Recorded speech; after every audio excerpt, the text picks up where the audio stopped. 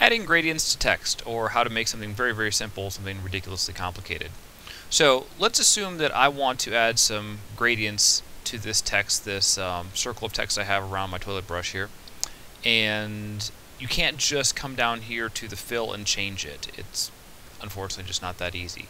So a couple things I'm going to do first is that um, up here in the top I'm on Essentials, that's your default Essential tools. Since I'm working with text, I'm going to switch to Typography, which changes up my menus and stuff over here.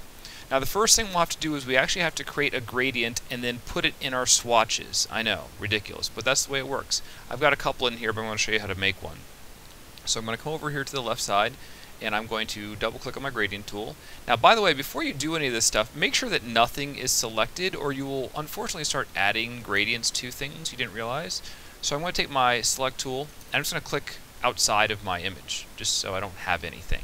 Okay, safe enough. So double click the gradient tool, my little gradient editor pops up. So what I can do is I can double click down here on the slider and you can see I've already set one up. Um, I can basically double click a uh, point here and add a color to it. So I'll make something absolutely horrible, kind of like this. Um, and then we'll show up. So I'll take a yellow, which I already have, and I will change this middle one. Um, by the way, if I drag that away, it'll go away, or if I click one in there, it will add a new one. All right. So let's make this one uh, hot pink, and uh, we'll make this one lime green. You know, lovely.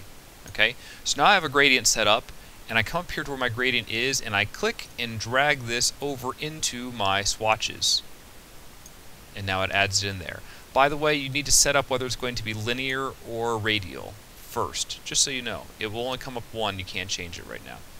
Okay, so once I have my gradient set up, I'm going to come down here to my layer that has my text. You can see this, there's the ring of text. I'm going to select it just for the record, you must have something in your fill and your stroke already. You don't want these to be empty. You don't want these set on nothing, okay? So I'm going to just come back and default that. Now what I'm going to do is I need to change the appearance. I know, ridiculous, but this is the way it works. So I have this selected, I have my stuff there, I go to appearance, and you can see where it says type here at the top. I need to change the appearance of my type. So I click type, and here is my add new fill button. I click this, my it changes it to black. Do not panic. I'm going to click on where it says black and then I'm going to change this to my color and voila, there is my gradient in my text. By the way, if I want to, I can change the stroke here and my type at the same time. So I'll click on this and make it something, um, let's see, equally horrible here. Let's here. Let's put some purple on this because that's not going to clash.